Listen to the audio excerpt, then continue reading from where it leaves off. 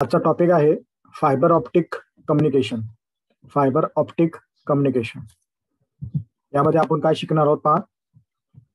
Introduction to optical fibre optical connection and various types optical amplifier its advantages properties of optical fibre testing losses types of fibre optic cables and specification नंतर एड encoding of light नंतर आहे fiber optic joints, splicing, testing, and the related equipment measuring tools.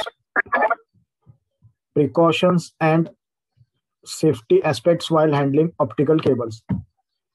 पहिला lesson आपण शिकणार आहोत fibre optic communication lesson one fibre optic communication objective आहेत at the end of this lesson you shall be able to define the fibre optic communication explain the block diagram and function of the fiber optic communication, describe the different basic elements of the OFC system, explain the working principle of each element, state the advantages and disadvantages of the optical fiber communication, state the applications of the fiber optic communication.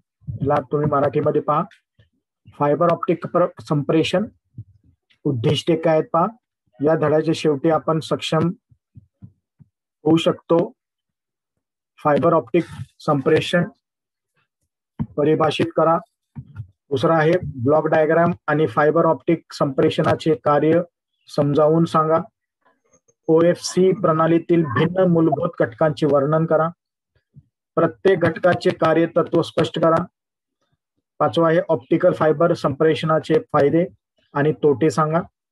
आणि सहावा आहे fibre optic संप्रेषणाचे अनुप्रयोग सांगा. तर हे उद्दिष्ट सहा उद्दिष्ट आहेत या पहिल्या लेसनमध्ये फायबर ऑप्टिक संप्रेषण सुरुवात करूया.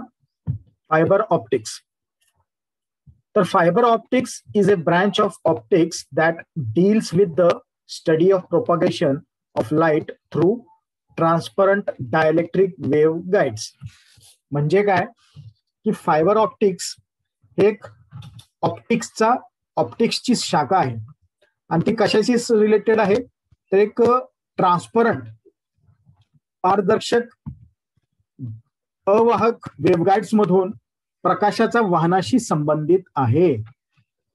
म्हणजेच फायबर ऑप्टिक्स ऑप्टिक्सची एक शाखा आहे जी पारदर्शक विद्युत रोधक तरंग निर्देशकाद्वारे प्रकाशाच्या प्रसाराच्या अभ्यासाशी संबंधित आहे.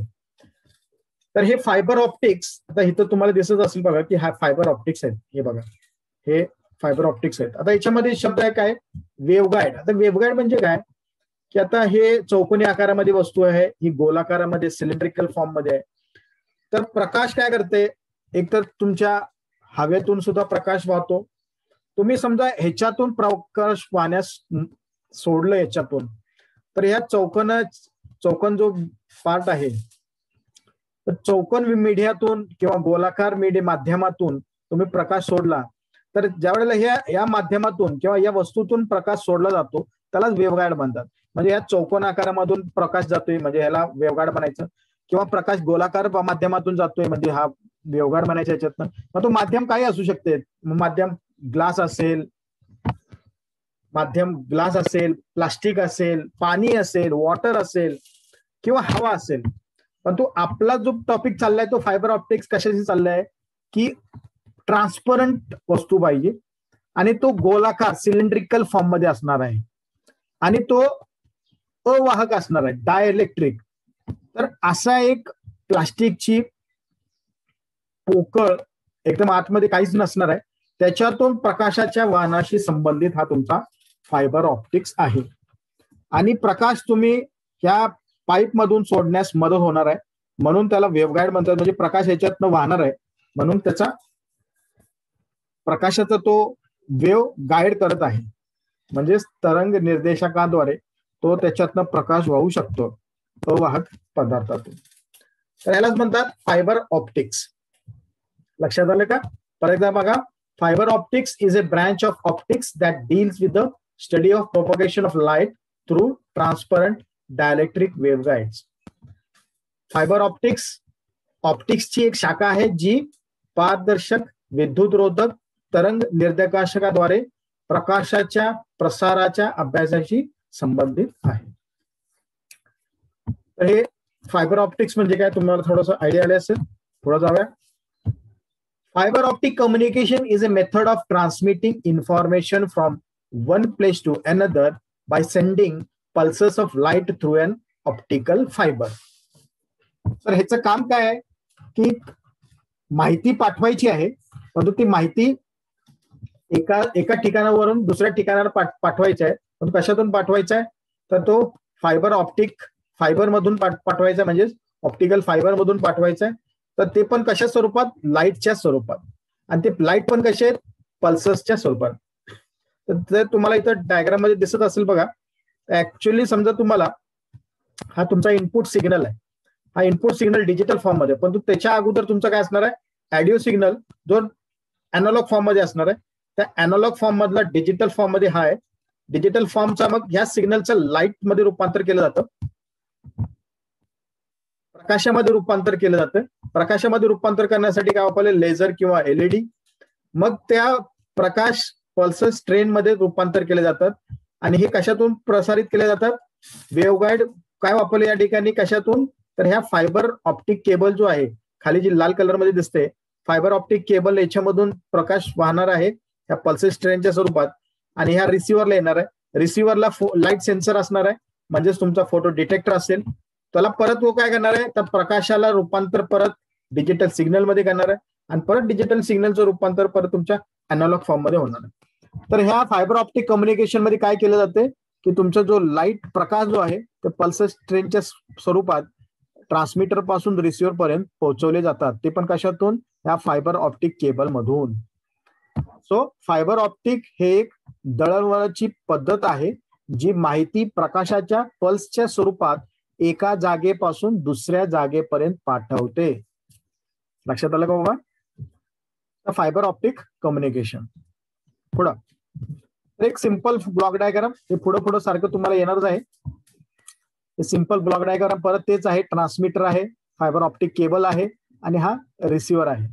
म्हणजे ट्रान्समीटर मधनं सिग्नल्स येणार प्रकाशाच्या स्वरूपात या ऑप्टिकल केबल मधून येणार रिसिव्हर तो प्रकाश रिसिव्ह करणार आणि कन्व्हर्जनला आउटपुटला देणार. तर fibre optics have revolutionise the telecommunication industry and have played a major role in this.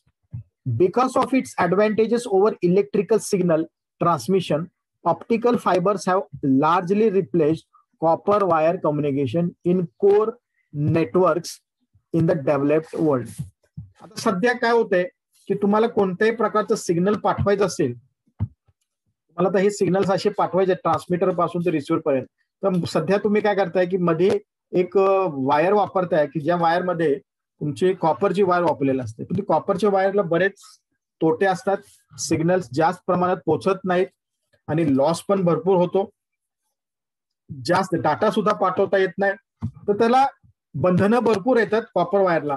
तर त्याला कॉपर वायरला पर्याय म्हणून एक चांगला पर्याय आलेला आहे तो म्हणजे फायबर ऑप्टिक्स. आणि ह्या सगळ्या जगामध्ये सध्या आता फायबर ऑप्टिक्सचा भरपूर फायदा होत आहे. आणि सगळ्या ठिकाणी त्याचा वापर केला जात आहे. फायबर ऑप्टिक्सने दूरसंचार उद्योगात क्रांती घडवून आणली आहे आणि त्यामध्ये मोठी भूमिका बजावली आहे. इलेक्ट्रिकल सिग्नल ट्रान्समिशनपेक्षा त्याच्या फायद्यामुळे ऑप्टिकल फायबरने विकसित जागा मुख्य नेटवर्कमध्ये तांबे वायर सप्रेशनाचे प्रमाण मोठ्या प्रमाणात बदलले आहे. म्हणजे कॉपर ऐवजी आता त्याला पर्याय म्हणून चांगला आता फायबर ऑप्टिक्स आलेला आहे.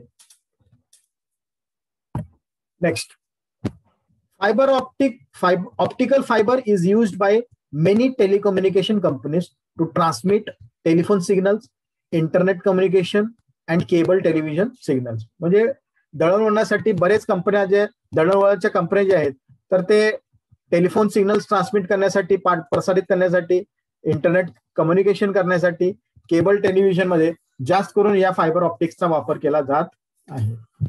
टेलिफोन सिग्नल इंटरनेट संप्रेषण आणि केबल टेलिव्हिजन सिग्नल प्रसारित करण्यासाठी अनेक दूरसंचार कंपन्यांद्वारे ऑप्टिकल फायबरचा वापर केला जात आहे.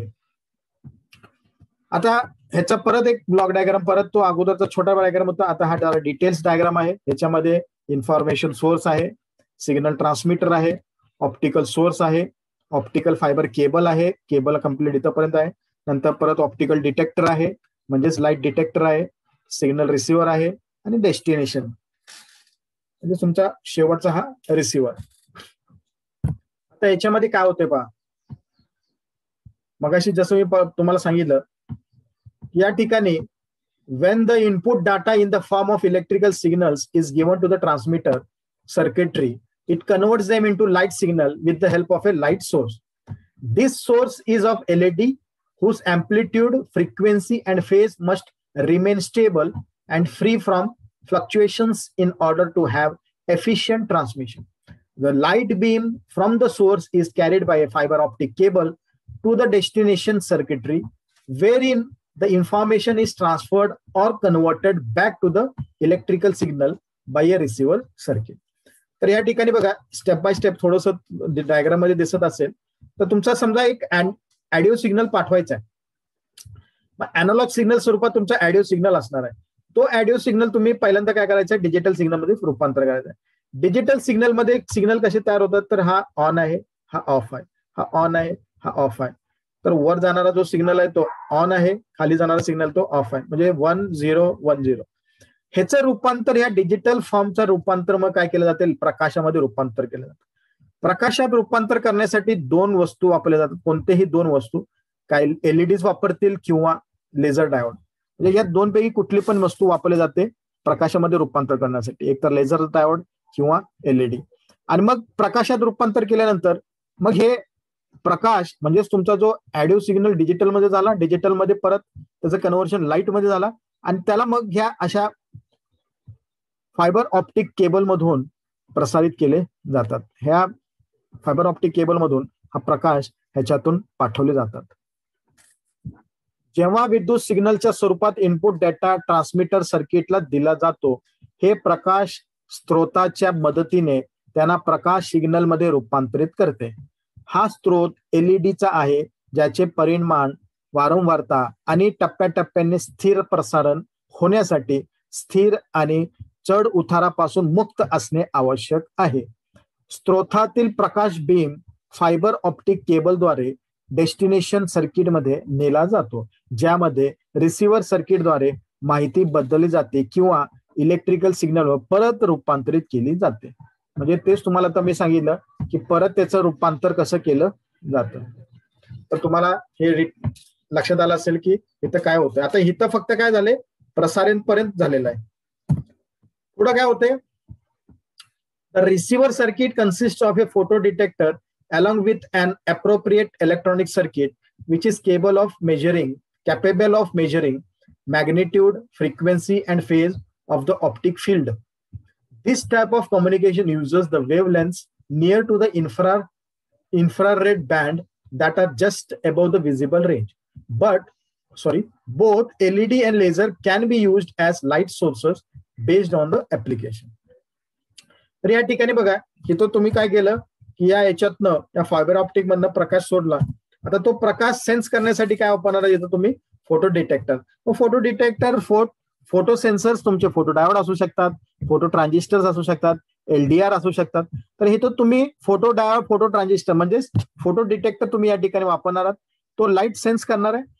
तो सेन्स केल्यानंतर त्याला परत डिजिटल सिग्नलमध्ये रूपांतर करणार आहे. डिजिटल सिग्नलचं परत ऍडिओ सिग्नलमध्ये रूपांतर केलं जाईल आणि तो मग आउटपुटला फायनल प्रोसेसिंगला दिलं जाईल.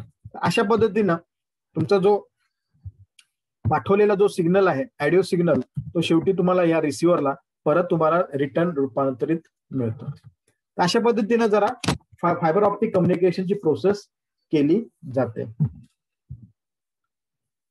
जरा पुढे बघूया. विजिबल लाइट रेंज आता हे पुढचे मुद्दे ह्या फायबर ऑप्टिक्सशी रिलेटेड आहे. तर हे मुद्दे सुद्धा तुमच्या लक्षात आले पाहिजे. तर विजिबल लाइट रेंज आता विजिबल लाइट लाइट रेंज म्हणजे काय? So light is an electromagnetic signal like radio waves म्हणजे रेडिओ वेव्हच्या सारखाच इलेक्ट्रोमॅग्नेटिक सिग्नल आहे light it can be modulated by the information signal and sent over the fibre optic cable the frequency of light is extremely high it can be used to accommodate very wide bandwidth of the information and extremely high data rates can be achieved with excellent reliability. Figure 3 shows the frequency spectrum and wavelengths of visible spectrum. तर याचा diagram आपण बघणार आहोत तुम्हाला त्याचं मराठीमध्ये बघा दृश्यमान प्रकाश श्रेणी प्रकाश हा रेडिओ वेव्ह सारखाच विद्युत चुंबकीय सिग्नल आहे हे माहिती सिग्नलद्वारे मॉड्युलेट केले जाऊ शकते आणि फायबर ऑप्टिक केबलवर पाठविले जाऊ शकते. प्रकाशाची वारंवारता अत्यंत जास्त असते फ्रिक्वेन्सी जास्त असते. याचा उपयोग माहितीच्या विस्तृत रुंद रुंद बँडविड्थमध्ये सामावून घेण्यासाठी केला जाऊ शकतो. आणि उत्कृष्ट विश्वास हर्थसे विश्वासार्थेसह अत्यंत उच्च डेटा दर मिळविला जाऊ शकतो. तर हे हाय फ्रिक्वेन्सी असल्यामुळं बँडविड्थ जास्त असल्यामुळं तुम्हाला जास्त डाटा पाठवता येतो. तर हे कुठे असतात? विजिबल लाइट रेंज किंवा विजिबल लाइट कुठे असते? ते बघूया आपण. तर हे तुम्ही सायन्समध्ये कधीतरी दहावीमध्ये तुम्ही बघितलं असेल बघा. तर याला म्हणतात फ्रिक्वेन्सी स्पेक्ट्रम किंवा वेवलेन्स याच्यामध्ये फ्रिक्वेन्सी आणि वेवलेन्स दाखवलेलं असते. तर हे विजिबल लाइट स्पेक्ट्रम आहे ज्याच्यामध्ये तुम्हाला हा हा जो भाग आहे एवढा. ह्याला म्हणतात विजिबल लाइट स्पेक्ट्रम म्हणजेच दृश्यमान प्रतिबिंब. याच्यामध्ये काय की या ठिकाणी बघा वरच्या बाजूला जे दाखवले हे टेन रेस टू झिरो ते ten raise to twenty four हे त्याची फ्रिक्वेन्सी आहे. आणि हे खालच्या बाजूला जे म्हणले टेन रेस टू एट ते ten raise to minus sixteen हे दाखवलेलं आहे वेवलेंथ आहे वेवलेंथ वेवलेंथ म्हणजेच काय तुमची? लांबी तरंगाची लांबी. म्हणजे आता हे तर तुम्हाला दिसत असेल हे वेफॉर्म हा एक सायकल आहे आणि दुसरा एक सायकल आहे.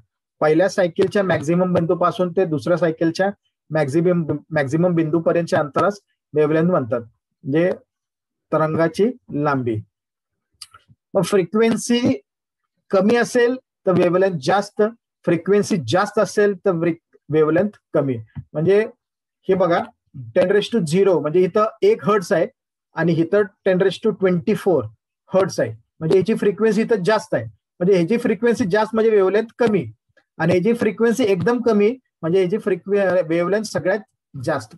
पण तो ह्या रेंजमध्ये काय असते तर ह्या रेंजमध्ये रेडिओ वेव्ह असतात एम वेव्ह असतात एफ एम वेव्ह असतात मायक्रोवेव्ह असतात म्हणजेच हाय फ्रिक्वेन्सी सिग्नल असतात. आय आर रेज असतात त्याला अवरक्त किरण म्हणतात. आणि आय आर आणि युव्ही म्हणजेच अल्ट्रा व्हायलेट अतिनील किरण. या दोन्ही मध्ये तुमचा एक प्रकाशाचा म्हणजेच विजिबल स्पेक्ट्रम असतो. याच्यामध्ये तुम्ही हा जो लाइट जी आहे किंवा हे विजिबल स्पेक्ट्रम जे दिसते हे एवढं तुम्ही आपल्या डोळ्याने पाहू शकता.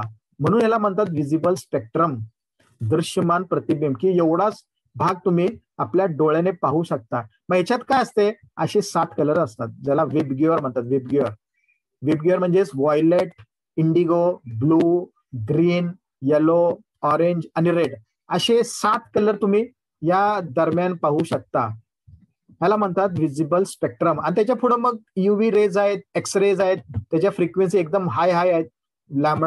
वेवलेन जो आहे तो कमी आहे पण तो फ्रिक्वेन्सी एकदम हाय हाय वाढत जाते. आणि गॅमा रेज जे आहे तिकडं हे सगळ्यात जास्त त्याच्या फ्रिक्वेन्सी असतात. पण तो ह्याला आपला काय ह्याचा काही संबंध नाही आहे आपला फक्त संबंध कशाशी आहे? या दोन वस्तूशी. ह्या आय आर आणि युव्ही मधला जो हा पार्ट आहे एवढा जिथं तुम्हाला हे कलर्स पाहायला मिळतात त्याला विजिबल स्पेक्ट्रम म्हणतात. तर हा लाईटशी रिलेटेड आहे म्हणून हा विजिबल स्पेक्ट्रम इथं दाखवलेला आहे. So for visible light those frequency light रफली बिटवीन चारशे तेरा हर्ट्स अँड सातशे पन्नास टेरा हर्ट्स म्हणजेच हा जो पार्ट दाखवला इथनं ते इथंपर्यंत हा विजिबल स्पेक्ट्रम तर तो किती ते किती आहे? चारशे तेरा हर्ट्स ते सातशे पन्नास टेरा हर्ट्स तेरा म्हणजे किती? दहा ते बारा हर्ट्स दहाचा बारावा घातांक. म्हणजे ten raise to twelve hertz तर बँडविड्थ म्हणजे काय? सातशे पन्नास गुणिले म्हणजे आता हे रेंज किती आहे याची? विजिबल लाईटची रेंज इथून ते इथंपर्यंत चारशे तेरा हर्ट्स ते सातशे पन्नास तेरा हर्ट्स बँडविड्थ काय असणार आहे? तर मॅक्झिमम मधनं मिनिमम वजा करायचं. म्हणजे सातशे पन्नास टेरा हर्ट्स वजा चारशे टेरा हर्ट्स तर किती येते? जवळपास साडेतीनशे टेरा हर्ट्स तर ह्याची बँडविड्थ आहे साडेतीनशे टेरा हर्ट्स लक्षात घ्या. म्हणजे फ्रिक्वेन्सी भरपूर आहे बँडविड पण भरपूर आहे. म्हणजे तुम्ही भरपूर डाटा पाठवू शकता. म्हणजे बँडविड जास्त असला की तुमचा डाटा भरपूर प्रमाणात तुम्ही पाठवू शकता. प्रकाशाची फ्रिक्वेन्सी आपल्या ऑडिओ फ्रिक्वेन्सी पेक्षा जास्त असते. म्हणून तुमचा बँडविड तर जास्त. हाय फ्रिक्वेन्सी बँडविड जास्त. आणि डाटा सुद्धा जास्त प्रमाणात तुम्ही पाठवू शकता. तर त्याचं एक सिंपल उदाहरण तुम्हाला माहिती आहे की प्रकाशाचा फ्रिक्वेन्सी जास्त आहे का नाही. तर तुम्ही पावसाळ्यात बघितलं असेल की जेव्हा वीज चमकते वीज चमकल्यानंतर तुम्हाला प्रकाश अगोदर दिसतो म्हणजेच वीज दिसते आणि नंतर विजेचा आवाज कडकलेला आवाज नंतर ऐकू येतो. म्हणजेच ऑडिओची फ्रिक्वेन्सी कमी आहे आणि प्रकाशाची फ्रिक्वेन्सी जास्त आहे. तर फ्रिक्वेन्सी जास्त असल्यामुळे त्याची बँडवेड तर जास्त आहे. आणि बँडवेड बँडवेड म्हणजे तुम्हाला एक सांगितलं आता बँडविड म्हणजे काय? आणि बँडविड जास्त असल्यामुळं तुम्ही डाटा जास्त प्रमाणात पाठवू शकता. मग हा डॅप बँडविड एवढा मोठा असल्यामुळं तुम्ही जास्त प्रमाणात तुम्ही डाटा पाठवू शकता. एवढा मोठा बँडविड आहे. एवढ्या याच्यामध्ये तुम्ही डाटा पाठवू शकता.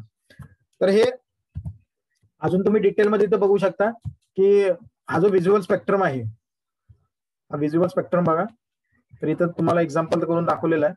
आणि याच्यामध्ये बघा तीन किलो हर्ट्स रेडिओ वेव्ह तीन किलो हर्ट्स आहे.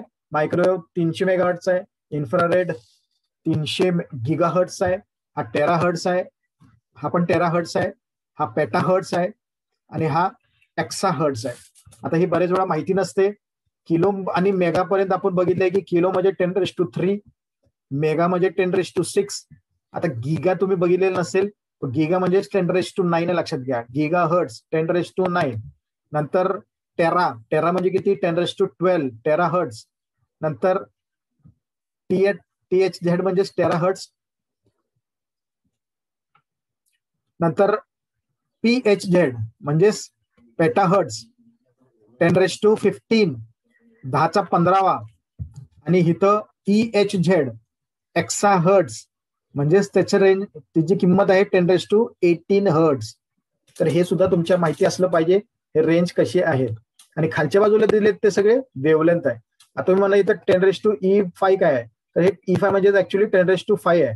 टेन रेस टू पाचवा ten raise to five metres एक मीटर तर हे वेवलेंथ ह्या मीटर्समध्ये इथं नॅनोमीटर आहे हे नॅनोमीटर आहे हे नॅनोमीटर आणि तुमची जी व्हिजिबल स्पेक्ट्रम आहे ह्या दरम्यान आहे. जे मगाशी आपण बघितलं चारशे तेरा हर्ट्स ते साडेसातशे तेरा टेरा हर्ट्स तर बँडविडबद्दल अजून तुम्हाला डिटेल्स साठी मी एक एक्झाम्पल इथे दाखवले बा की हाय बँडविड असेल तर जास्त डाटा तुम्ही कसं पाठवू शकता. इथे एक एक्झाम्पल एक एक्झाम्पल दिलेलं आहे की दोन पाईप आहेत. प्लास्टिकचे पाईप्स आहेत. आणि त्याच्यात पाणी येते. आता पाणीचा जो वेग आहे तो दोन्हीचा एकच आहे. Ten ten kilometre per hour दोन्हीच्या पाईप दोन्ही पाईपातून येणारा जो पाणीचा वेग आहे तो एकच आहे. टेन किलोमीटर पर आवर परंतु ह्याची साईज बघा छोटी आहे आणि ह्याची साईज जरा मोठी आहे. दोन्हीचा स्पीड एकच आहे परंतु ह्या पाईपातून येणारा जो पाणी आहे तो या ह्याच्यामध्ये दहा टन साठणार आहे. आणि ह्याच्यातनं बाहेर पाणी आल्यानंतर ह्याच्यातनं वीस टन साठणार आहे. म्हणजे बघा दोन्हीचा वेग एकच आहे. पण तो ह्याचा जाडी मोठी असल्यामुळे व्यास मोठा असल्यामुळं तुमचा डाटा जास्त येते पाणी जास्त येते आणि ह्याच्यातनं पाणी कमी येते. म्हणून ज्यावेळेला बँडविड जास्त असेल तर तुम्हाला डाटा जास्त येणार आहे. दोन्हीचा वेग एकच आहे परंतु इथं डाटा कमी येणार आहे. ह्याच्यातनं डाटा जास्त येणार कारण ह्याचा बँडवेट जास्त आहे आणि ह्याचा बँडवेट कमी आहे. तर तुमच्या लक्षात आलं असेल की बँडवेट ऍक्च्युली काय आहे? आणि वेवलेंथ म्हणजे काय? ते सुद्धा तुम्हाला मगाशी दाखवलेलं आहे. तर थोडस आयडिया आला असेल अजून की बँडवेड आणि वेवलेंथ म्हणजे काय? अजून पुढे जाऊया. Basic elements of a fibre optic communication system fibre optic communication सिस्टमचे मूलभूत घटक. आता फायबर ऑप्टिक कम्युनिकेशनचे मूलभूत घटक काय काय आहेत बघा? There are three main basic elements of fibre optic communication system they are compact light source low low low loss optical fibre photo detector त्याचबरोबर accessories like connectors switchers OFC couplers multiplexing devices amplifiers and splicers are also essential elements in this optical fibre communication system म्हणजे हे तीन तर आहेच plus हे पण वस्तू त्याच्याबरोबर आहेत. फायबर ऑप्टिक कम्युनिकेशन सिस्टमचे तीन मुख्य मूलभूत घटक आहेत.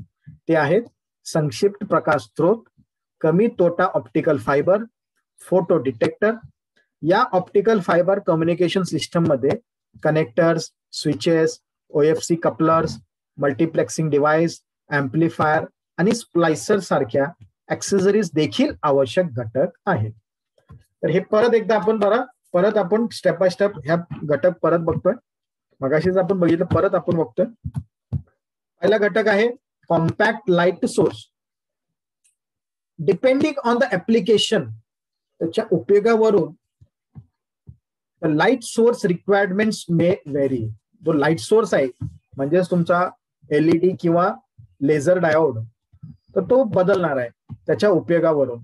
The requirements of the source including power speed spectral line with noise ruggedness cost temperature and so on तर ते कुठले आहेत? तर two components are use as light sources light emitting diodes and laser diodes तर हे दोन वस्तू वापरले जाणार आहेत. एक तर एलईडी किंवा लेझर डायोड्स तर संक्षिप्त प्रकाश स्त्रोत अनुप्रयोगावरून अवलंबून प्रकाश स्त्रोत आवश्यकता भिन्न असू शकते. ऊर्जा गती वर्णक्रमीय रुंदी आवाज असभ्यपणा किंमत तापमान आणि यासह स्त्रोतांच्या आवश्यकता आहे. दोन घटक प्रकाश स्त्रोत म्हणून वापरले जातात. प्रकाश उत्सर्जक डायोड आणि laser diode.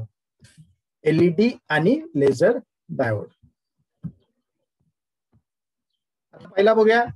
The light emitting diodes are use for short distance and low data rate application due to their low bandwidth and power capabilities आता बघा इतर लगेच आता लक्षात येते बघा प्रत्येक वस्तू आता कसं कसं वापरली जाते. की पहिला जो पार्ट आहे तुमचा जो एलईडी तर तो काय करणार लाइट सोर्स आहे तो लाइट सोर्स आहे तो प्रकाश तयार करणार आहे. तर एलईडी तुम्ही वापरलं तर एलईडी काय केलं जाते? किती शॉर्ट डिस्टन्ससाठी वापरलं जातं. म्हणजे कमी अंतरासाठी वापरलं जातं. तर कमी अंतरासाठी वापरलं जातं. त्याच्यामुळे काय होतंय त्याच्यात तुमचा डाटा कमी जाणार आहे. आणि तसंच त्याचं बँडवेट कमी असणार आहे. आणि पॉवर सुद्धा त्याला कमी लागते.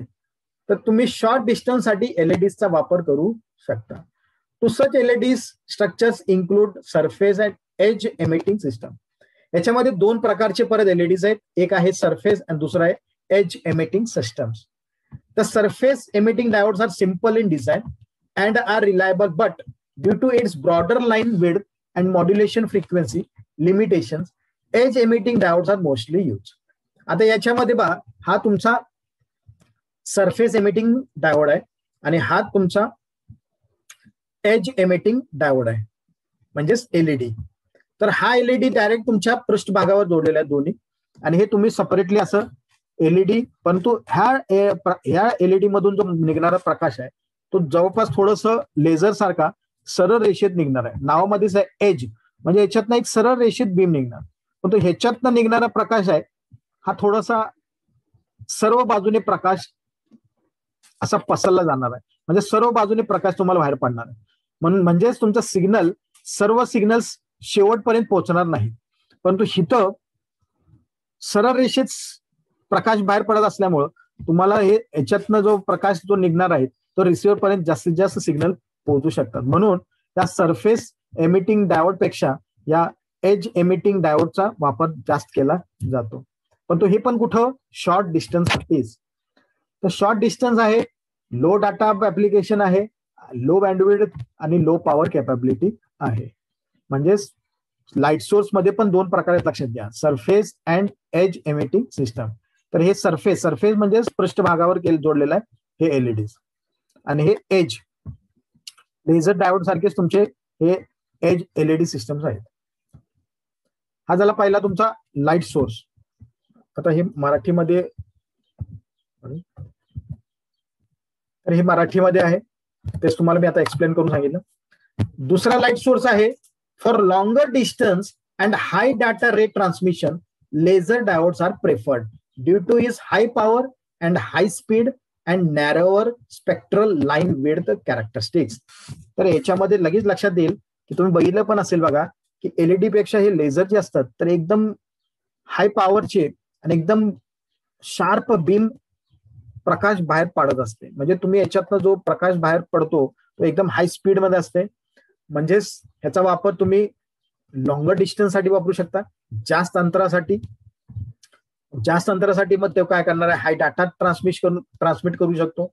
म्हणजेच तो हाय पॉवर त्याला लागते आणि तो हाय स्पीडनं तो प्रसारित करणार आहे. परंतु ह्याच्यामध्ये थोडस किरकोळ त्रुटे पण आहेत. ते काय आहेत? तर but this are inherently non linear and more sensitive to temperature variation म्हणजे तापमानामध्ये थोडासा बदल झाला की तो त्याच्यात सुद्धा थोडासा बदल होतो. म्हणजे बघा हे मूळतः गैर रेषात्मक आणि तापमान बदलासाठी अधिक संवेदनशील आहेत. तर हे लेझर डायोड तर लेझर डायोड लक्षात आलं? लॉंगर डिस्टन्ससाठी याचा वापर केलेला आहे. आणि तुमचा जो एलईडी आहे तो शॉर्ट डिस्टन्ससाठी वापर केलेला आहे. तर हा झाला तुमचा पहिला पार्ट तो म्हणजे लाइट सोर्स आता दुसरा आहे low loss optical fibre the purpose of optical fibre is to transmit light signal from transmitter to receiver आता आपण काय केले सिग्नलचं लाईटमध्ये रूपांतर केलंय. त्या लाईटमध्ये रूपांतर करण्यासाठी एक तर एलईडी वापरला एलईडी मध्ये पण दोन प्रकार बघितला. सरफेस आणि एज एमिटिंग डायोड तो एलईडी असेल तर तो शॉर्ट डिस्टन्ससाठी आहे. आणि दुसरा प्रकार आहे तो म्हणजे लेझर डायोड तो लॉंग डिस्टन्ससाठी आहे. आता प्रकाश तयार झालेला आहे. आता प्रकाशाला तुम्हाला ट्रान्समीटर ट्रान्समीटर मधून रिसिव्हर पर्यंत पोहोचवायचा आहे. मग ते रिसिव्हर पर्यंत पोहोचवण्यासाठी आता प्रकाश तुम्ही कशातून पाठवणार आहात? तर त्याला वेवगाईड देण्यासाठी तुम्ही काय वापरणार आहे? फायबर ऑप्टिक केबल तर फायबर ऑप्टिक केबल काय करणार आहे? प्रकाशाला ट्रान्समीटरपासून तर रिसिव्हर पर्यंत पोहोचवणार आहे. त्याचं काम तो आहे. Fibre optic is a optical fibre is a cable which is known as cylindrical dielectric waveguide made of low loss material तर हे मी आत्ताच सांगितलं तुम्हाला की तो सिलेंड्रिकल म्हणजे गोलाकारामध्ये आहे डायलेक्ट्रिकमध्ये अवाहक पदार्थ आहे आणि वेवगाय काढणार आहे. त्याच्यातनं त्या प्रकाशाला वाहण्यासाठी मदत करणार आहे.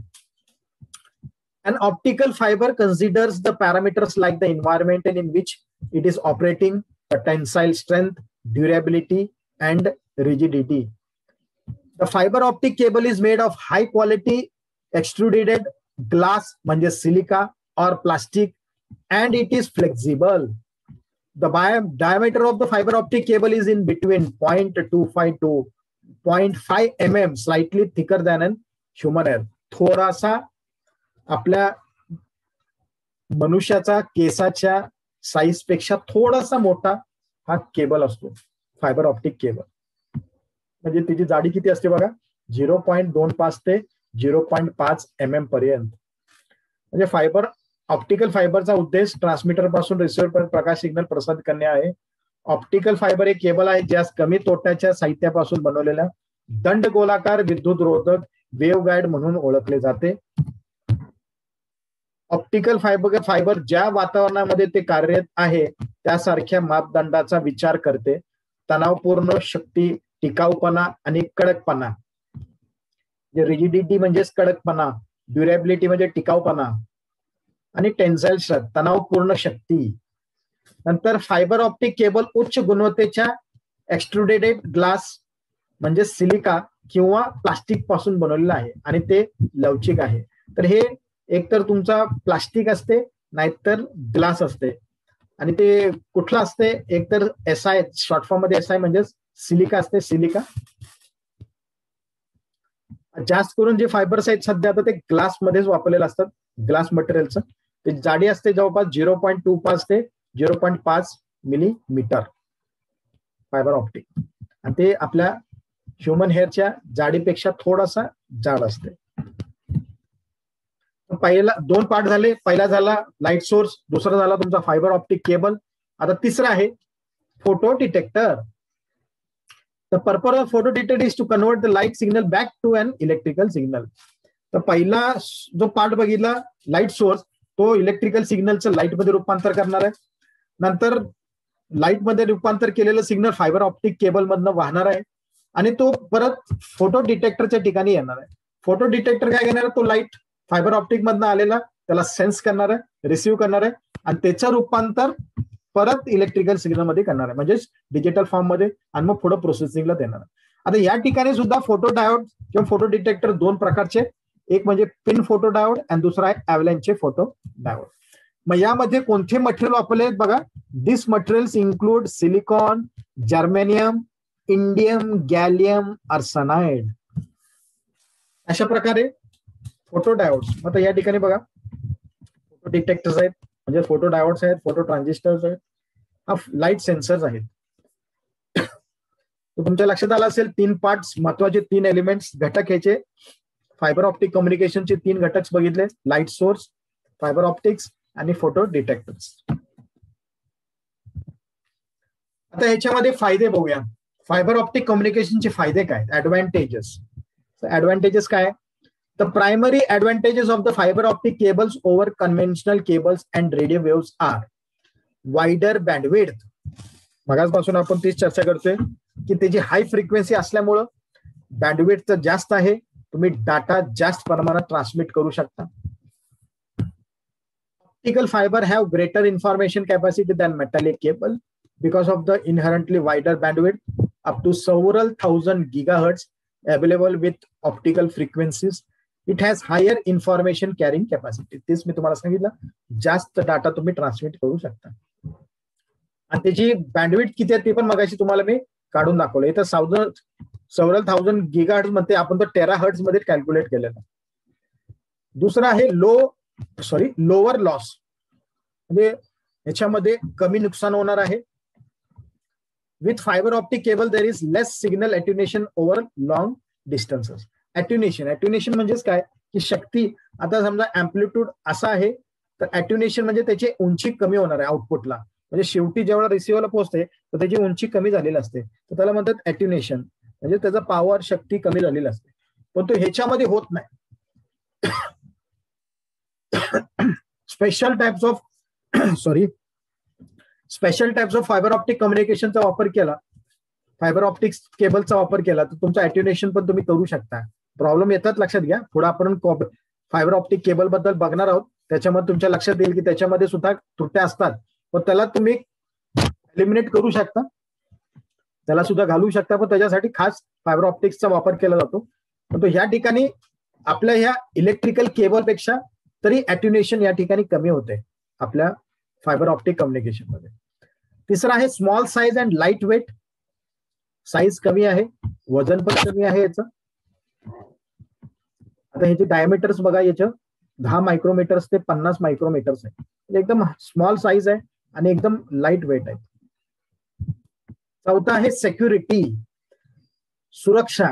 Fibre optic cables cannot be tapped as easily as electrical cables आता बघा इलेक्ट्रिकल केबल्समध्ये सध्या बघा तुम्ही हॅकिंग हॅकिंग हा शब्द वापरत असाल. ऐकलं असेल बघा हॅकिंग करतात. आता काय होतं की ज्यावेळेला तुमच्या कॉपर वायर मधून सिग्नल वाहत असते तर कॉपर सिग्नल मधनं वाहत असताना सिग्नल्स त्याच्यातनं वाहताना काय चुंबकीय क्षेत्र किंवा चुंबकीय क्षेत्राच्या स्वरूपात काय सिग्नल्स बाहेर पडत असतात? तर हॅकर्स काय करतात? त्याच्यातनं ते सिग्नल्स घेतात आणि त्याचं रूपांतर करून त्याला टॅप करतात. पण तो हे कधी शक्य होतं? ज्या वेळेला कॉपरची वायर वापरलेली असेल किंवा अल्युमिनियमची वायर वापरलेली असेल. किंवा थोडक्यात काय की धातूची वायर वापरलेली असेल. पण तो हिथं काय होतंय? तुम्ही इथं प्लास्टिक वापरलंय. माध्यम तुमचं काय? प्लास्टिक आहे.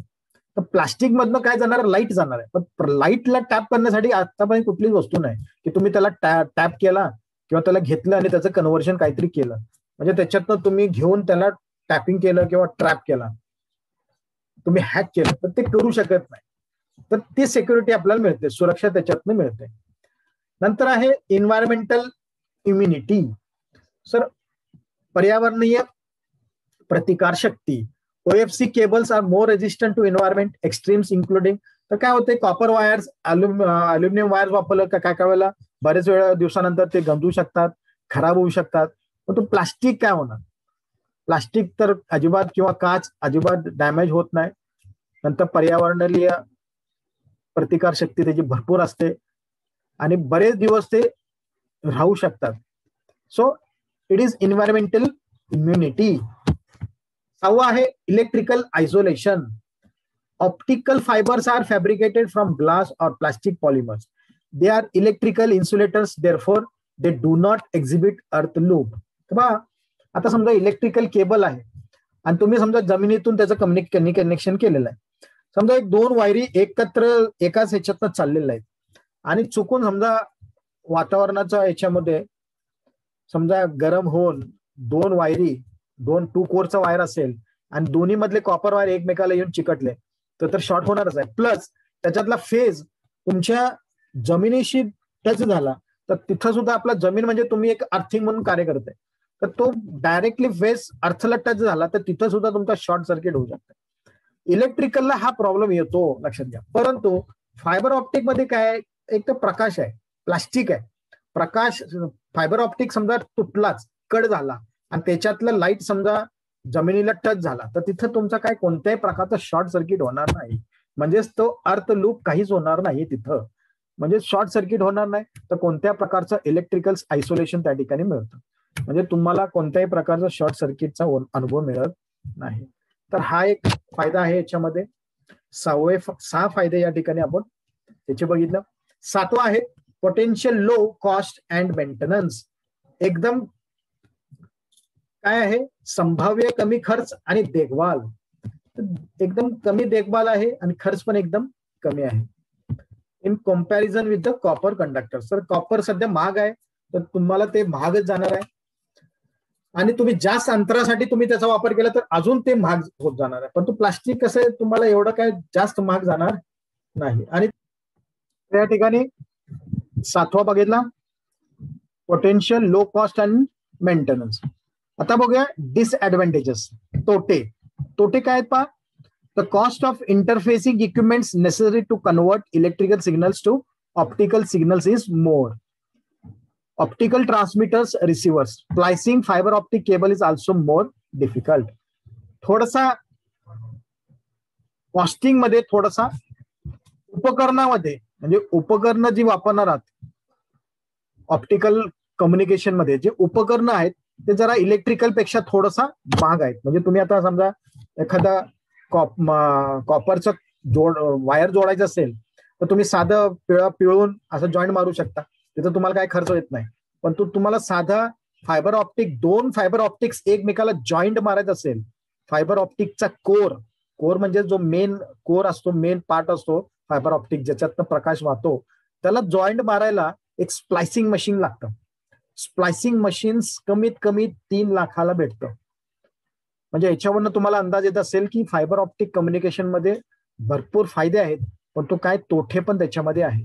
की तुम्हाला एक दोन साधी प्लास्टिकची वायर जोडायची असेल तर त्याच्यासाठी जवळपास कमीत कमी तीन लाखाच्या मशीन्स लागतात जॉईंट मारायला ज्याला आपण स्पाइस स्प्लायसिंग मशीन म्हणतो. So expensive over short distance कमी अंतरासाठी ते जास्त खर्चिक आहे महाग आहे. रिक्वायर्स हाय क्वालिटीज इन्स्टॉलर्स तिथं तुम्हाला अत्यंत कुशल इन्स्टॉलर आवश्यक असते. कुशल कारागीर लागतात. आणि adding additional notes is difficult तर आता सांगितलं की तुम्हाला जास्त जॉईंट मारायचे असतील फायबर कोरचे तर ते जरा अवघड असतात डिफिकल्ट म्हणजे अवघड असतात. तर हे काय? एक दोन तीन त्रुट्या आहेत त्याच्यामध्ये डिसएडव्हान्टेजेस मध्ये. Fibre optics कम्युनिकेशनमध्ये. त्रुट्या जे आहेत तोटे जे आहेत लक्षात आलं असतील तुमच्या? फायबर ऑप्टिक अनुप्रयोग स्टेप बाय स्टेप आपण पाहणार आहोत. तर हे आपण स्टेप बाय स्टेप एक एक बघूया.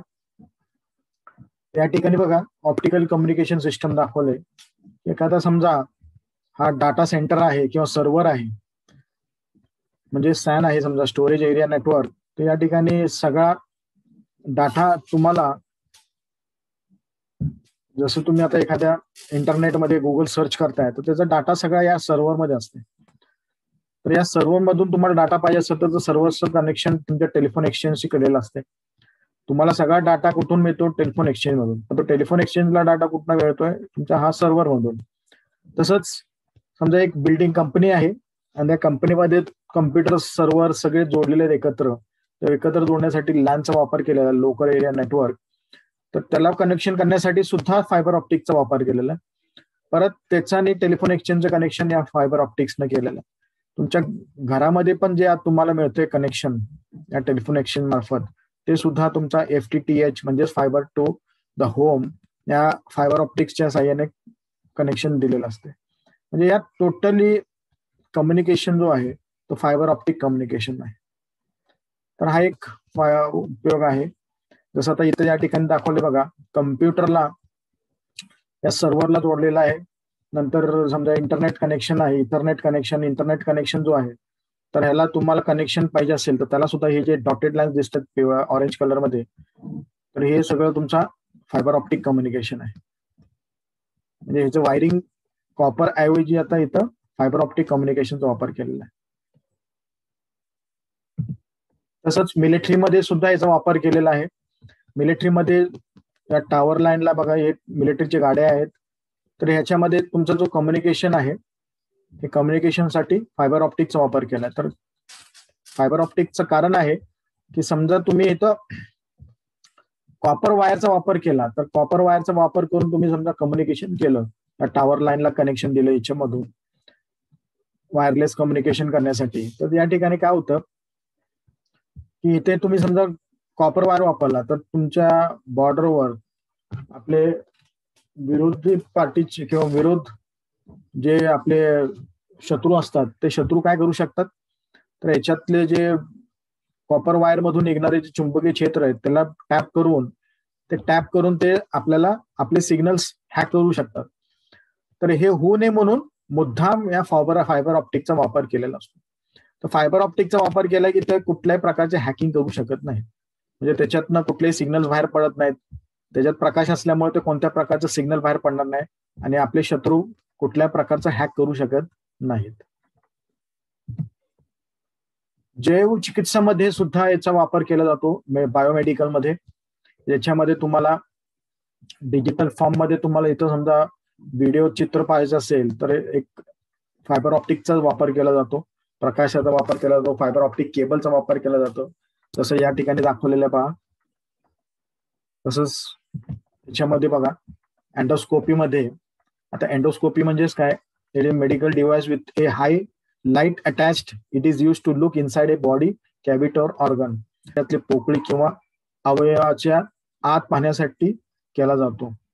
म्हणजे या एक प्लास्टिकची पाईपच असते त्याच्यात परत त्याला लाइट जोडलेला असते आणि तो प्रकाश आतमध्ये गेला की मग त्याच्यात कॅमेरा पण असते की तो काय करते डायरेक्टली तुम्हाला डिजिटल फॉर्ममध्ये तुमच्या पोठामध्ये आता हे स्टमकमध्ये दाखवले बघा पोठामध्ये काय आहे अवयव कसे कसे आहात कसे आहेत कसे कार्य करत आहेत हे तुम्हाला डायरेक्टली या ठिकाणी पाहायला मिळते म्हणजे या ठिकाणी कुठला आजारी असेल तर तो आजारी तुम्हाला लगेच या ठिकाणी दिसतो. या ठिकाणी सुद्धा फायबर ऑप्टिकचा वापर केलेला आहे. तसंच तुम्हाला केबल टीव्ही वाले किंवा इंटरनेट कनेक्शन आपल्याला मिळते ब्रॉडबँड कनेक्शन किंवा केबल टीव्ही कनेक्शन मिळते तर प्रत्येक घरामध्ये समजा केबल कनेक्शन पाहिजे असेल किंवा ब्रॉडबँड इंटरनेट कनेक्शन पाहिजे असेल तर त्याच्यासाठी सुद्धा मेन स्टेशनपासून आपल्यापर्यंत पोहोचण्यासाठी फायबर ऑप्टिक्स कनेक्शन दिलेले आहेत बघा. तर हे ऑप्टिकल मोड्स नोट्स जे आहेत हे ऑप्टिकल नोट जे दाखवलेले आहेत तर हे काय आहेत? तुम्हाला या कनेक्शन दिले फायबर ऑप्टिक कनेक्शन मार्फत. तर इथं सुद्धा जेवढं वायरिंग केलेलं आहे ते सगळं फायबर ऑप्टिक्स म्हणजे याच्यामुळे काय होतं की हाय स्पीडनं तुम्हाला डाटा मिळतंय केबल कनेक्शन मिळतात चॅनल्स मिळतात आणि कमी खर्चामध्ये. आणि आयु म्हणजे पूर्वी जसं कॉपरचं कनेक्शन असायचे कॉएक्सेल केबल्स असायचे कॉपर कनेक्शन त्याच्याऐवजी आता डायरेक्ट फायबर ऑप्टिक कम्युनिकेशन आलेलं आणि ह्याच्यामध्ये काय होते की तुम्हाला डाटा जास्त मिळते आणि हाय स्पीड मिळते मिळते. तसंच आता काय आलेले आहेत? इंटेलिजंट ट्रान्सपोर्टेशन सिस्टम्स बुद्धिमान ट्रॅफिक लाईट्स असलेले स्मार्ट हायवे स्वयंचलित टोलबूथ आणि बदलण्यायोग्य संदेश चिन्ह. आता याच्यामध्ये इंटेलिजंट ट्रॅफिक हायवेज आलेले आहेत ट्रॅफिक लाईट्स आहेत. तर हायवेजमध्ये तुम्हाला ट्रॅफिक लाईट्स आहेत. हे तुमचे असं ऑटोमॅटिक ऑटोमॅटेड टोल बुथ्स आहेत. ऑटोमॅटिक असे मेसेज डिस्प्लेज आहेत. नंतर ट्रॅफिक लाईट्स आहेत ऑटोमॅटिक ट्रॅफिक लाईट्स आणि अशी काय ऑटोमॅटिक हायवेज आहे जिथं? ऑटोमॅटिक तुमचे जे गाड्या जात असतात तर त्याचे नंबर प्लेट्स ऑटोमॅटिक रीड करतं. तर ह्याच्यामध्ये जे काय कम्युनिकेशन करत आहे हे सगळं फायबर ऑप्टिक्स आहे. आता बघा सध्या तुम्ही फास्टॅग ऐकला असेल बघा की toll booth automatic toll booth गाडी गेली की ऑटोमॅटिक आपला टोल जे आहे तो ऑटोमॅटिक कट होणार आहे. म्हणजे आपण कुठल्याही प्रकारचे पैसे द्यायचे नाही. ऑटोमॅटिक गाडी पुढे गेले. फास्टॅग जोडलेला असेल ज्या गाडीला तर तो डायरेक्टली स्कॅनर या टोलबूथच्या तिथं स्कॅनर असणार आहे. तो स्कॅन करणार आपल्या डायरेक्टली आपल्या वॉलेटमधून पैसे डिटेक्ट होणार आहे. सॉरी डिलीट होणार आहे. तसंच या ठिकाणी तू जाताना इथं डायरेक्टली तुम्हाला इथं डिस्प्ले पण होणार आहे की तुम्ही जाताना ग्रीन दाखवणार तुम्ही स्टॉप करताना रेड दाखवणार आहे. तर या पद्धतीनं तुमचा ऑटोमॅटिक टोलबूथ्स आहेत. नंतर तुम्ही ज्यावेळेला असता एक्सप्रेस हायवे मधून तुम्ही जात असताय तर त्या स्पीडमध्ये किती लिमिट असलं पाहिजे? तुम्हाला असं डायरेक्टली डिस्प्ले होतं. हे स्मार्ट डिस्प्ले त्या ठिकाणी दाखवलं जातं. हे सुद्धा कम्युनिकेशन करण्यासाठी फायबर ऑप्टिक्स वापर केलेला असते. तसंच ज्या वेळेला तुम्ही एखाद्या मोठ्या मेट्रोपॉलिटन सिटीजमध्ये गेलाय तर त्या ठिकाणी गाड्या ज्या वेळेला येत असतात तर तो ऑटोमॅटिक जे लाईटी बदलतात ह्या ट्रॅफिक लाईट्स तर पुढच्या समोरच्या गाड्यांना पाठवू नये म्हणजे कोणत्या गाड्यांना कधी पाठवायच्या आहेत हे सगळं स्मार्ट कंट्रोलिंग हे ट्रॅफिक कंट्रोलिंग केलं जातं. तर त्याच्यामध्ये स्मार्ट कंट्रोलिंग करण्यासाठी हे सगळं कम्युनिकेशन फायबर ऑप्टिक कम्युनिकेशनचा वापर करून केला जातो. तर हे सगळं जे आहे हे हायटेक आहे. त्या हायटेक कम्युनिकेशन किंवा इंटेलिजंट ट्रान्सपोर्टेशन सिस्टममध्ये फायबर ऑप्टिक कम्युनिकेशनचा वापर केलेला आहे. तर इकडं जे वीज निर्मिती केली जाते. वीज निर्मिती प्रोडक्शन सिस्टममध्ये सुद्धा आता ऑटोमेशन आलेलं आहे. की त्या ठिकाणी मॅन्युअल सिस्टम काहीच ठेवलेलं नाही आता. आता मेघालय राज्यामध्ये पहा की एस एल डी सी हा सिस्टम वापरलेला स्टेट लोड डिस्पॅच सेंटर हा मेघालयमध्ये आहे. ज्याच्यामध्ये टोटल पॉवर सिस्टम जे आहे ते ऑटोमेशनमध्ये केलेलं आहे.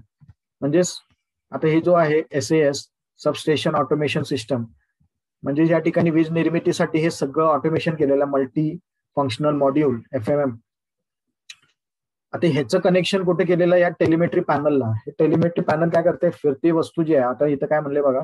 Telemetry system are an alternative method for transmitting data from the rotating assembly to the stationary data acquisition system telemetry system ही फिरणारी असेंब्ली पासून स्थिर डाटा अधिग्रहण प्रणालीकडे डाटा प्रसारित करण्याची पर्यायी पद्धत आहे. तर टोटली ऑटोमेशन करण्यासाठी आता हे या ठिकाणी ऑटोमेशन या ठिकाणी वीज निर्मिती प्रोडक्शन सिस्टम आहे तर या ठिकाणी फिरणारी वस्तू आहे तर त्याच्यातनं तो स्थिर डाटा घेणार हा टेलिमेट्री पॅनल आणि तुमच्या कंट्रोल सिस्टमला देणार. ऑफिस आहे ऑफिस मधला तुमचा कंट्रोलिंग सिस्टम आहे कंट्रोलिंग डाटा ह्या पॅनलला येणार तो टोटली तो ऑटोमेशनमध्ये ठेवणार परत तो डाटा इकडे येणार. म्हणजे किती वीज निर्मिती झालेली आहे तो जो डाटा येतो घेणार तो डाटा इकडे ऑफिसला पाठवणार कंट्रोल सिस्टमला परत तो डाटा रिसिव्ह करणार. ह्या मध्ये जे कम्युनिकेशन केलं जातं याच्यामध्ये जे वायरिंग केलेलं आहे ते सगळं फायबर ऑप्टिक कम्युनिकेशन आहे. तर ह्या याच्यामध्ये सुद्धा तुमचा फायबर ऑप्टिक कम्युनिकेशनचा वापर केलेला आहे. नंतर फायबर ऑप्टिक कम्युनिकेशन अवकाश संशोधनासाठी सुद्धा केलेलं आहे.